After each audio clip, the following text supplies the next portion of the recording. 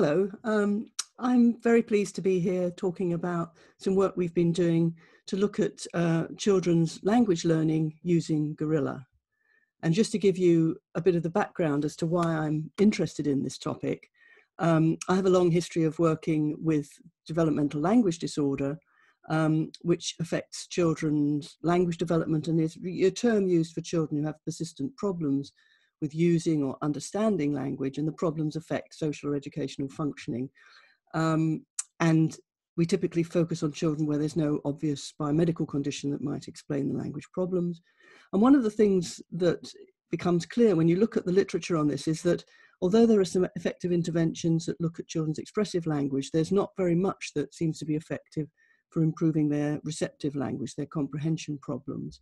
Um, and of course, if we want to devise an effective method, we need to sort of understand the underlying basis of developmental language disorder. And interest in that question has been something that I've worked on all my research career. Now, there was a very interesting early attempt to use a computerized intervention for uh, children with language problems, developed by Paula Tallal and colleagues in the US, known as Fast ForWord.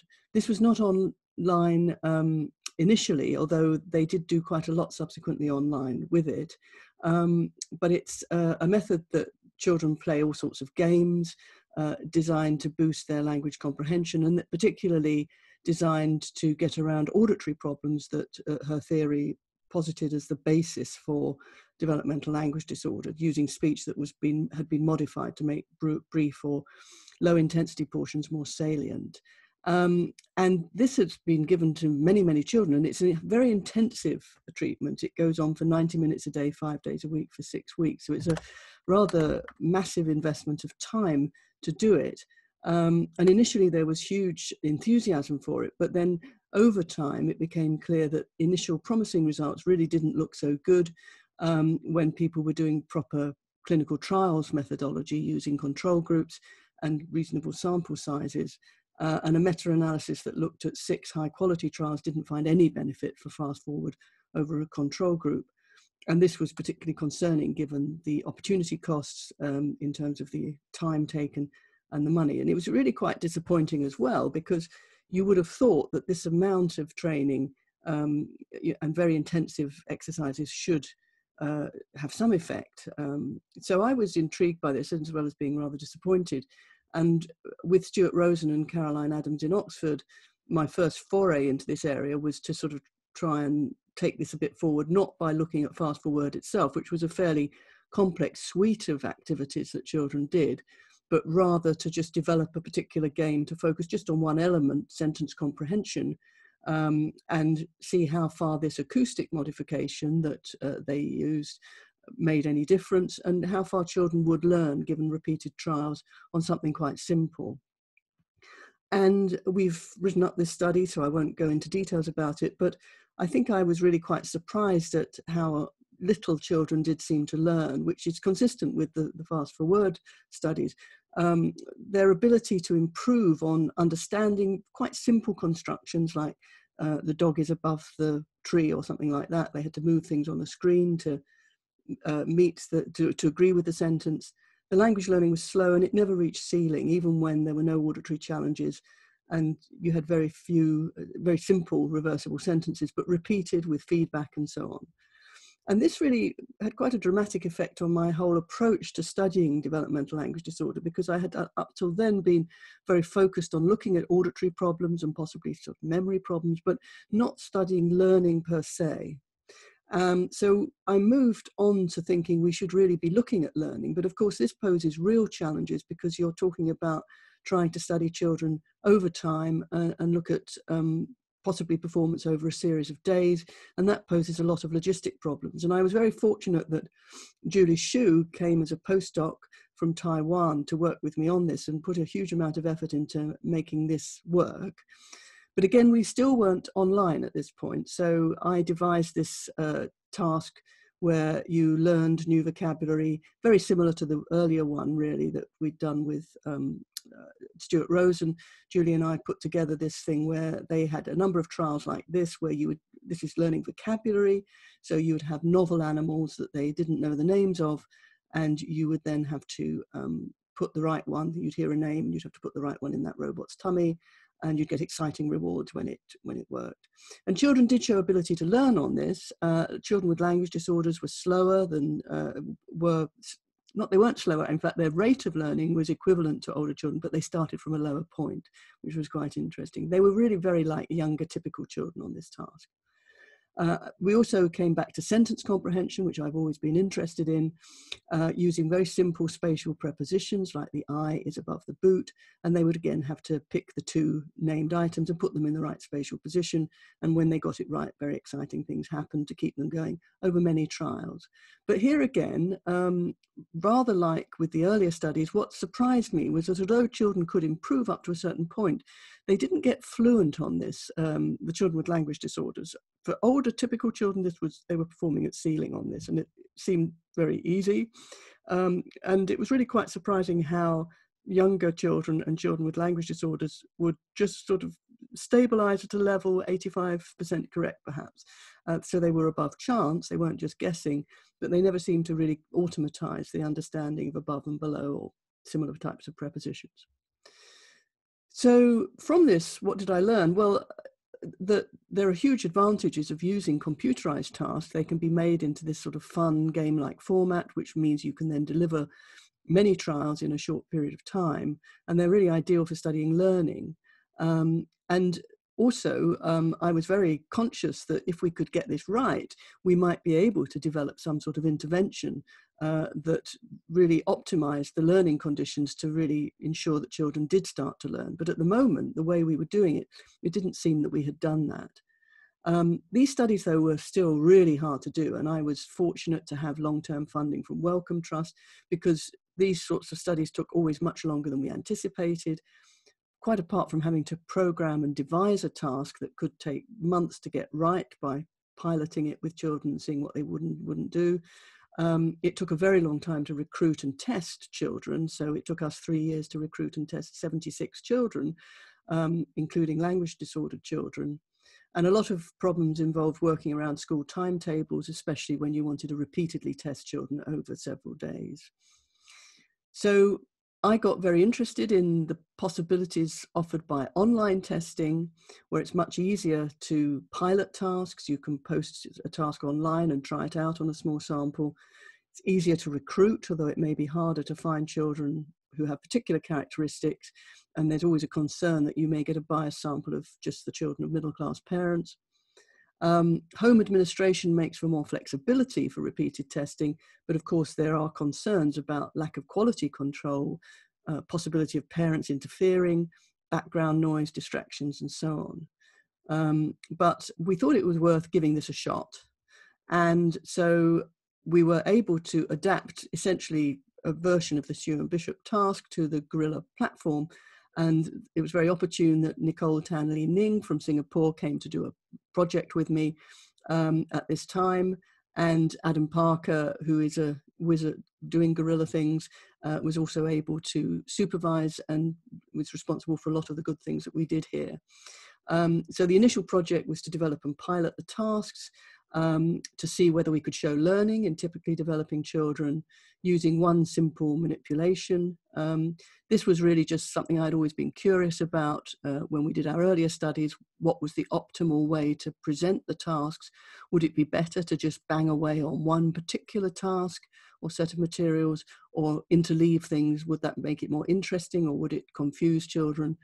Um, so we compared an interleaved and blocked condition using the two sorts of materials that we'd used before, so vocabulary learning or simple sentence understanding. And Nicole managed to recruit 96 typically developing children aged between 6 and 10, and we got 56 of them who completed 80 or more trials on this so that we could look at learning over blocks of trials.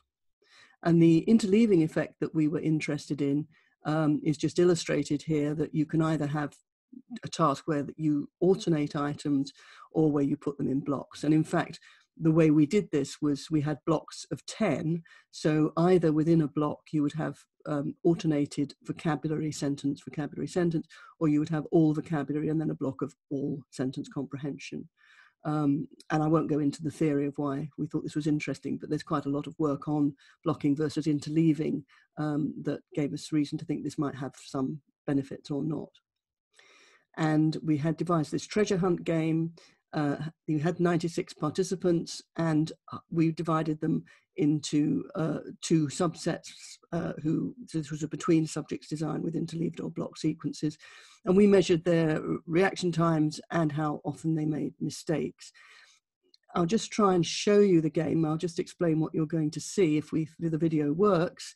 Um, there's a cover story. The child is exploring a cave for treasure um, and they have to solve clues to advance through the cave which is responding on the screen um, and we had a set of different levels. So Nicole is a keen gamer and was very good at advising what sorts of things might make it look more like a regular game. Uh, and the child, children would get rewards and sounds when they got a correct response. And they can see these accumulate, so there's some motivation to keep going. Right at the end, they can earn a scroll, which they could save as a PDF, which is shown here on the right.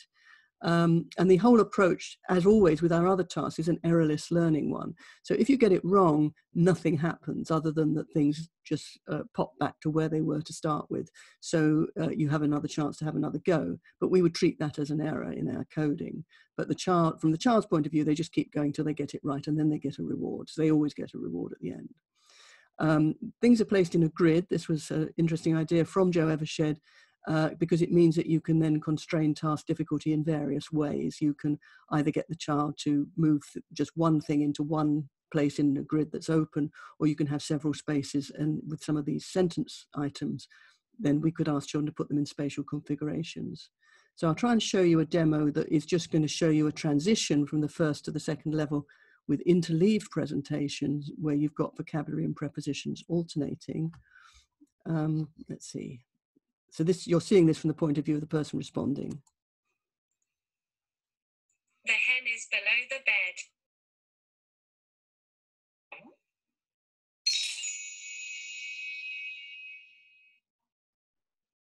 Cayman. So that's an, that's an error. So nothing happens except it goes back and then they get it right and then they get the reward. This is just moving from one level to the next.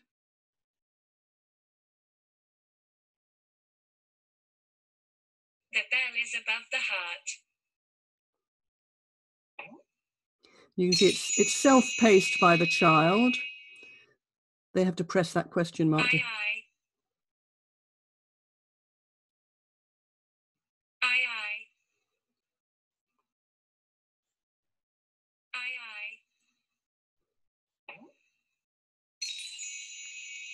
And that's, I think, probably as much as we're going to see. But uh, go to the next slide. Um, this is just a rough uh, designation of how we got on with it. Um, what we've got here on the left are the accuracy scores. I've divided into, we weren't particularly planning to look at age, but we divided into above and below eight years for this plot, just so you can see that the older children do do better than the younger, as you might expect but basic message is that you know both accuracy the number of attempts that they need goes down with time uh, this is on the vocabulary items and the reaction time also speeds up uh, over the over the blocks. But um, there's actually uh, not any difference uh, significant difference between the um, interleaved or blocked trials here although it may look like there's a bit of difference on the slopes. What we did to study this was to just subtract the uh, either accuracy uh, from the block, fourth block and the first block to see how much change there'd been, or uh, look at the slope on the reaction time uh, computed individually for children between those blocks. Um, and we didn't find, the bottom line is that we found that there was learning, but we didn't find any main effect of condition. So currently we're doing work now uh, to try and take this forward. We feel that was a sort of proof of principle that we can get a game. Children did mostly enjoy doing it. Some of them wanted to do even more. Um, and I think, you know, the reinforcements and things that we put in. Um, so we want to now try this with children who have language disorders again. We wanted to see if we can replicate a finding that we got with Julie Hsu, where um, there's a sort of Hebb effect on this sort of task, whereby if you get this, exactly the same sentence um, repeated throughout on alternate items. So you can see over here on the right, you can have sentences A, B, C, and D that recur through the block. Um, does that uh, help or hinder their learning? And we did find that that was specifically helpful for language impaired children in our study, but it was a finding that really needed replication. Um, but there's certainly scope for taking this forward. Um, the main thing I, I, would say is that we showed that systematic studies of training with children are really much more feasible with these online computerized methods because you can really start to do several days of training if you can get the child interested enough to want to do it. Um, but it, making the task attractive and game-like is as important as getting the experimental design right. The sounds are at least as important as the visuals in providing motivation. That's just an anecdotal observation. It would be quite interesting to do a study actually on that. Um, but we found that children sort of came alive once they started getting these tinkly noises and things. Um, there's scope for manipulating task conditions in all sorts of ways to try and find out what does optimize learning for children um, and to customize the task to the child's ability level. But um, there's a warning from history that we need to be very careful about sort of getting overexcited and taking this into clinical applications or educational applications until we've really done enough research to be clear on what is and is not effective. Because it's clear that these sorts of comprehension problems I'm interested in are really tough uh, to uh, if influence. Um, and just because kids like playing a game and it looks as if they're learning doesn't necessarily mean that this is going to be superior to other sorts of uh, activities they might be doing in school. So we've got to be careful about that. Thanks for listening. Oh, and I should say that I, I, had a little plug at the end for uh, a talk to, at the EPS on Thursday um, by Adam Parker um, on how we're using Gorilla for looking at um, lateralization of various activities. So uh, the, we found we were able to devise a reliable online behavioral laterality task.